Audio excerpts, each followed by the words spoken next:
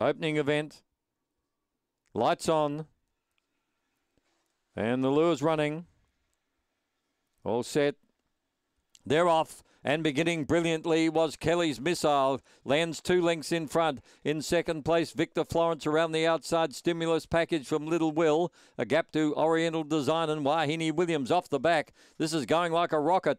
The leader is Kelly's Missile out by four or five lengths. Second, Stimulus package taking a bit of ground off it, but it's all in no avail. Kelly's Missile by three lengths. Stimulus package. Little Will. Victor Florence, Oriental Design, Wahine Williams, and they did run 22.50. In fact, 22.47.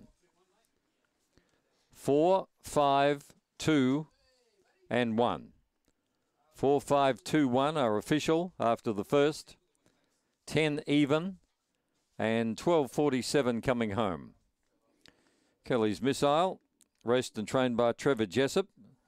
This litter's uh, shaping up quite well. This is by Fabregas out of Scarp Missile, the Black Dog, March 19.